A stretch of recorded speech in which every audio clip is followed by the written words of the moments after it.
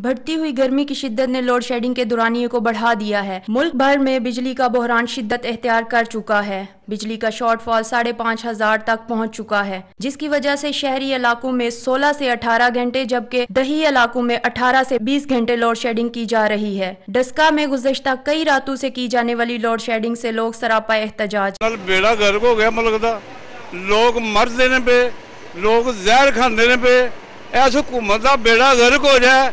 ਇਹਨਾਂ ਨੂੰ ਆਈ ਕਿਸੇ ਦੀ ਆਵੇ ਇਹ ਮਰ ਜਾਣ ਜਲਾਨੀ ਤੇ ਗਲਾਨੀ 20 घंटे जो है वो मुसलसल जो है वो बिजली जो है वो नहीं आ रही और सनती मजदूर जो है वो खुद कशी करने पर मजबूर हो चुके हैं ਗੈਬ ਰਹਿੰਦੀ ਪਈ ਹੈ ਨਾ ਪਾਣੀ ਹੈ ਨਾ ਗੈਸ ਹੈ ਨਾ ਕੁਝ ਚੀਜ਼ ਹੈ ਪੀਪਲ ਪਾਰਟੀ ਦਾ ਨਾਰਾ ਸੀ ਰੋਟੀ ਕੱਪੜਾ ਔਰ ਮਕਾਨ ਇਹ ਗੋਲੀ ਤੇ ਕਬਰਸਤਾਨ ਦਿੰਦੇ ਪਏ ਨੇ ਸਾਨੂੰ ਆਪਣਾ ਗਰੀਬਾਂ ਦੇ ਘਰ ਆਟਾ ਵੀ ਹੈ ਨਹੀਂ ਖਾਣ ਵਾਸਤੇ ਹਮ, ਪੂਰੀ ਪੂਰੀ ਦਿਹਾੜੀ ਬੱਤੀ ਬੰਦ ਰਹਿੰਦੀ ਹੈ ਅਸੀਂ ਕਿੱਥੇ ਜਾਈਏ ਗਰੀਬ ਲੋਕ एक तरफ़ तो गर्मी की शिद्दत अपने अरूज पर तो दूसरी जानब लोड शेडिंग अपनी इंतहाओं पर। गैर एलानिया लोड शेडिंग ने अवाम की मुश्किल में मजीद इजाफा कर दिया है।